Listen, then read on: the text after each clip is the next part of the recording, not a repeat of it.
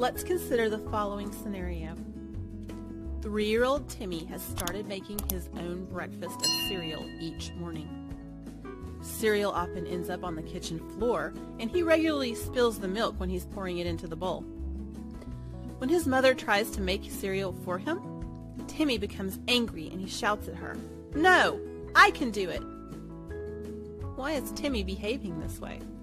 Has Timmy learned this behavior, or are his actions related to his age, family relationships, or personality? Questions like these are what developmental psychologists try to answer. They seek to understand and explain the behavior that occurs throughout our lives. A number of different theories have been developed in an attempt to explain the various aspects of human growth.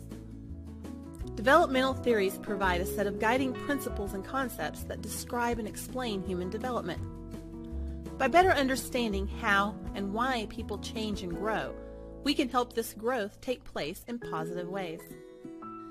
One of the most influential theories of human development is psychoanalytic theory. Many modern theories of counseling or psychotherapy are extensions, modifications, or reactions against psychoanalytic theory. Psychoanalytic theory examines the factors that motivate behavior by focusing on the role of the unconscious. Sigmund Freud and Erik Erikson are examples of theorists who support this approach. Freud was a pioneer with his psychoanalytic theory of personality and his psychosexual development theory. Erikson expanded Freud's theories in many ways and developed his own theory of psychosocial development. Psychoanalytic theory's strength lies in its awareness of unconscious motivation and the importance of early experiences on development. Unfortunately, the ideas involved are difficult to test. Because of this, psychoanalytic theory does not have substantial research available to support its ideas. Remember Timmy? Psychoanalytic theory might explain his behavior by saying that he's seeking independence and he's acting in an age-appropriate way for the developmental stage that he is experiencing. As a reaction to the lack of empirical evidence to support the claims of psychoanalytic theory, psychologists became increasingly interested in developing a more scientific approach. In order to do this, some researchers began to study only those things that could be measured and quantified. This led to the emergence of learning theories. Learning theories focus on how behavior is learned. Let's look at some individuals who develop theories that focus on how people learn new behaviors. Ivan Pavlov studied learning through association in his theory of classical conditioning. B.F. Skinner examined the effects of reinforcement and punishment in his theory of operant conditioning. Albert Bandura considered the effects of behavior modeling in his social learning theory. The major strength of behavioral learning theories is their ability to be tested and to be practically applied. The main weakness of these theories is that they generally ignore the effect of the genetic processes and changes that occur throughout the human lifespan. Think back to Timmy's behavior again. Learning theory might explain his actions as a learned response. Timmy knows that if he tries to make his own cereal when his mother's around, she will try to help him. If he acts out when she does this, he gets the attention that he is seeking.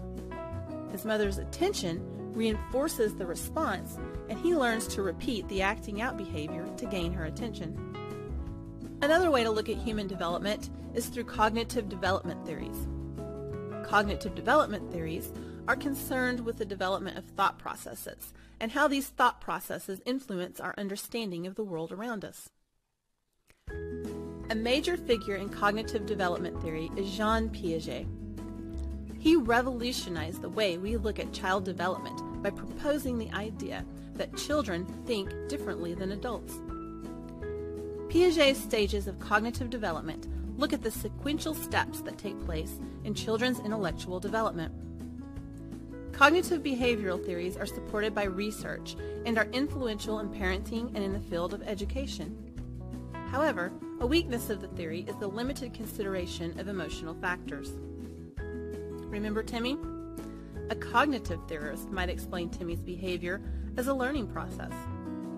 Timmy is developing a better understanding of shapes and logic, but his worldview is still egocentric.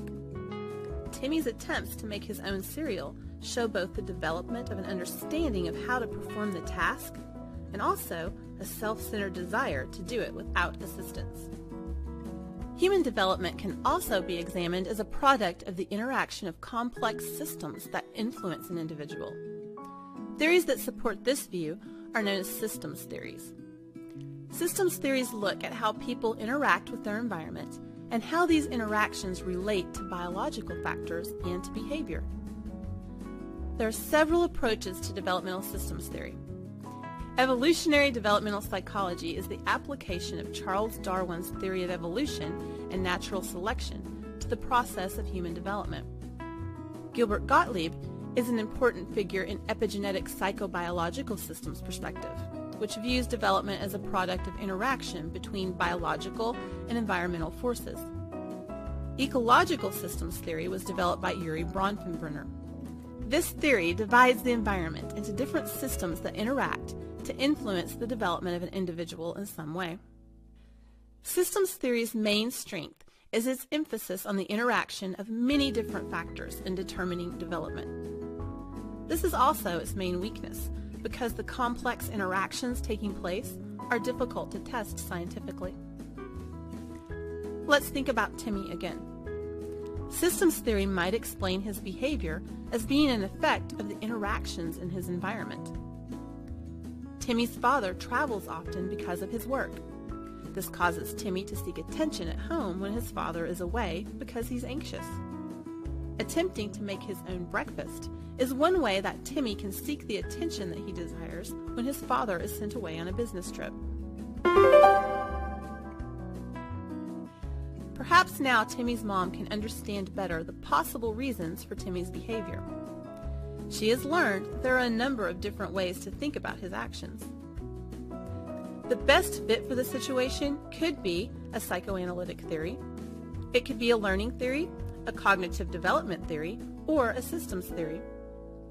Each developmental theory provides a set of guiding principles and concepts that describe human development.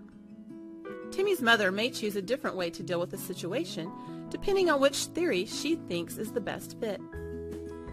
The purpose of using a developmental theory to help her is to help Timmy's